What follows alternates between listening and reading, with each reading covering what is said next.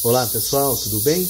Voltei aqui no Cerrado para mostrar a floração da canela de velho, da Micônia albicans. O meu nome é Halcer Arruda e sejam todos muito bem-vindos. Pessoal, nós estamos no mês de outubro, finalzinho de outubro, e nessa época do ano a Micônia albicans ou canela de velho, ela está em processo de floração. Deixa eu mostrar para vocês aqui um detalhe da folha da canela de velho, tá? A folha da canela de velha, a parte superior ela tem um verde claro, é um verde brilhante, e na porção inferior da folha ela é um branco acinzentado.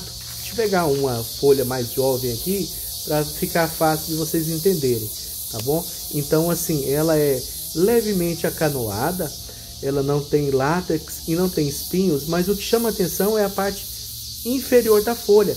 Ela é um branco acinzentado e ela possui essa nervura central bem característico das melatomastaceae, por exemplo, tá? Da família botânica Melatomastaceae, que é a família da canela de velho. Tá? E ela é levemente acanoada, tá pessoal? Mas o que chama atenção, esse branco acinzentado. Você vai encontrar em casa de produtos naturais, ela já desidratada.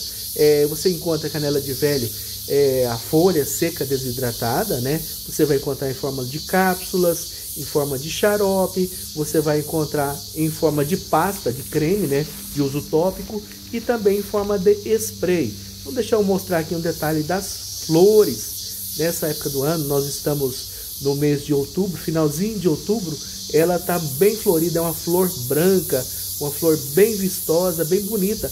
No vídeo, no próximo vídeo, eu vou falar dos cinco benefícios do chá da canela de velho. Então, se você não é inscrito, faça hoje a sua inscrição para que você possa acompanhar. Ative o sininho. Se gostou dos vídeos, dá aquele joinha. Faça hoje.